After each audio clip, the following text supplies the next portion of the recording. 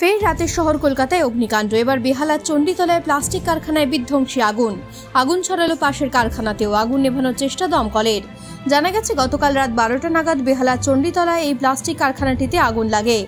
স্থানীয় সূত্রে খবর, এই কারখানাটির পাশে একটি বিল্ডিং তৈরি হচ্ছিল আর সেখানেই রাত্রিবেলা মিস্ত্রিরা আগুন জেলে খাবার তৈরি করছিল। সেখান থেকেই কোনোভাবে আগুন চলে আসে এই কারখানায়।